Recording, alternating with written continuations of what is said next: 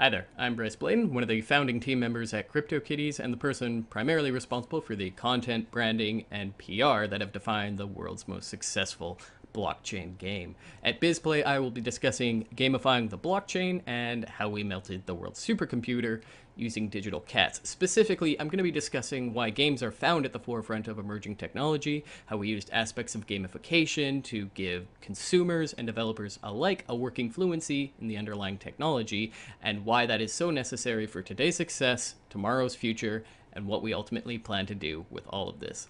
Thank you so much for listening, and I hope to see you there.